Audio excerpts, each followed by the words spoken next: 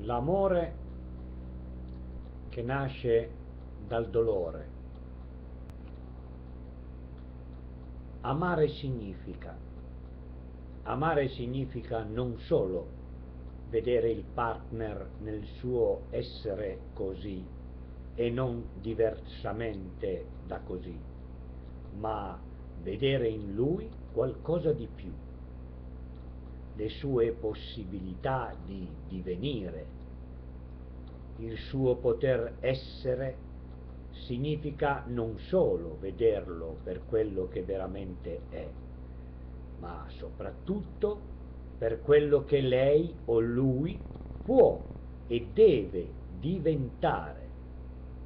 In altre parole, secondo una bella espressione di Dostoevsky, Amare significa vedere l'altro così come Dio l'ha ideato. Di Victor e Frank. Ed io vi aggiungo. Dopo il nulla del non amore, finalmente l'amore nasce ci vuole del tempo perché si manifesti nella sua completezza.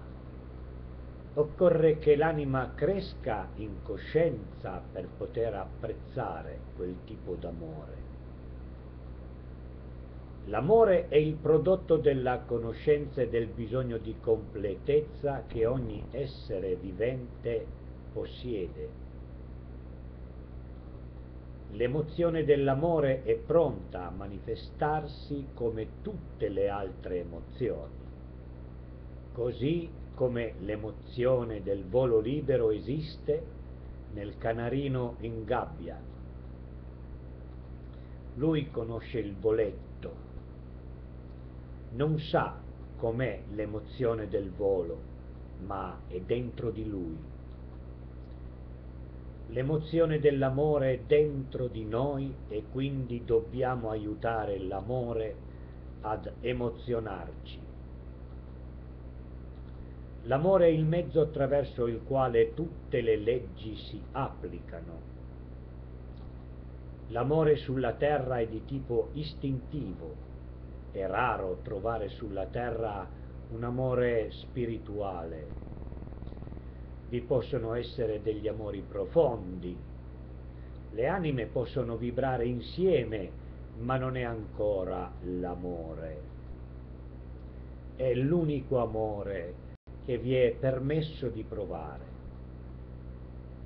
Innamoramento, passione, gelosia, fedeltà, istinti, ansia, tradimenti, sopravvivenza. Nelle dimensioni superiori l'amore permea il tutto. L'unicità dell'essere è il motivo della separazione per il quale vi sono anime che si amano più delle altre, perché vibrano sulla stessa frequenza. Dicasi affinità elettive, dicasi anime gemelle.